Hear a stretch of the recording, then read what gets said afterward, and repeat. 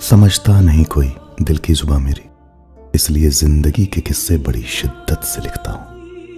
उन्हें मेरे लफ्ज चुभते हैं, जो होते हैं बेवफा। सिर्फ़ रिश्ते की हकीकत नहीं, मैं उसकी औकात लिखता हूँ। सब पूछते हैं मुझसे मेरे शायर होने की वजह। जो देखता हूँ अपनी आँखों से, बस वही बात लिखता हूँ।